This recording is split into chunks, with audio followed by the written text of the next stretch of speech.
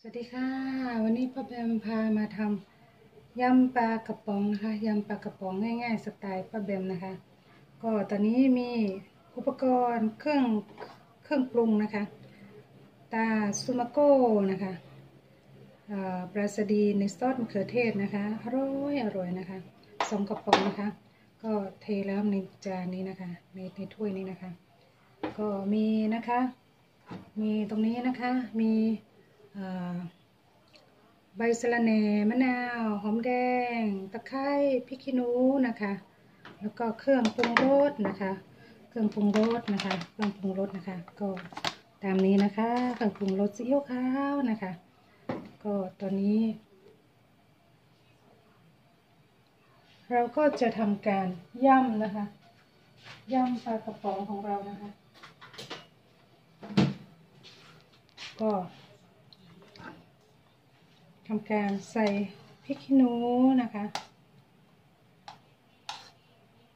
โรยพริกขี้หนูไปก่อนนะคะ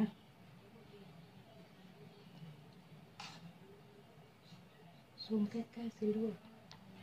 ใกล้ๆนะคะลูกนะเออนะคะ ก็พริกขี้หนูนะคะ ตะไคร้นะคะลูก ตะไคร้ ตะไคร้นะคะ ตะไคร้หอมแดงนะคะพริกขี้หนู ตะไคร้ หอมแดงนะคะ เราก็จะทานกัน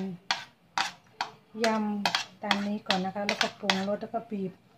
มะนาวใส่นะคะโรยด้วยผักสะระแหน่นะคะ ก็ทำการยำให้มันเข้ากันนะคะ เพื่อให้มันได้อัตรสนะคะ รสชาติจะได้ดีๆนะคะ คือกลมกล่อมนะคะ รสชาติกลมกล่อมนะคะ ตอนนี้ก็อร่อยอร่อยนะคะหอมนะคะ นี่ยังไม่ได้บีบมะนาวนะคะ เนี่ยนี่แค่ตะไคร้กับพริกขี้หนูเองนะคะหอมมากเลยค่ะหอมมากเลยนะคะ เสร็จแล้วเราก็จะปรุงรสนะคะ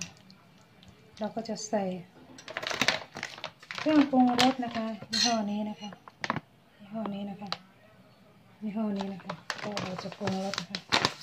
ใส่มานิดนึงนะคะโอ้ยมากอดนะคะ เราก็ จะใส่นะคะ ใส่ปรุงรสนะคะ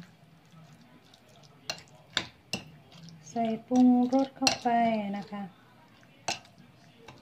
ใส่ปรุงรสไปเสร็จเราก็จะใส่ซีอิ๊วขาวนะคะซีอิ๊วขาวนะคะนิดนึงนะคะ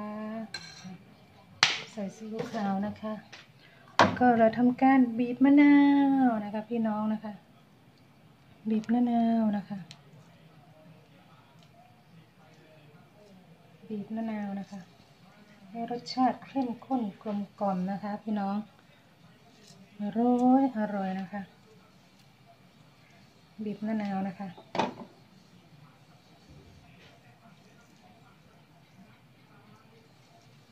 บีบมะนาวนะคะรู้สึกว่ามะนาวจะไม่ค่อยมีน้ำเท่าไหร่นะคะเสร็จแล้วเราก็จะคนคนคนให้เข้ากันนะคะ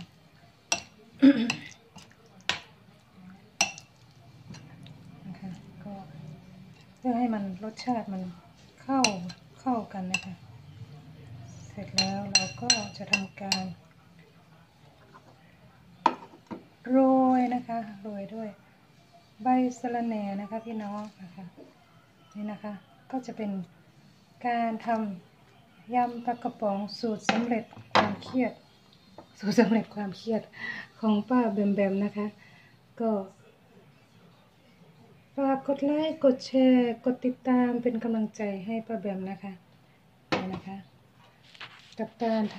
ำยำปลากระป๋องนะคะยำปลากระป๋องนะคะอร่อยอร่อยนะคะยำปลากระป๋องสูตรป้าแบมนะคะ สไตล์ง่าย ๆ ของป้าแบมนะคะ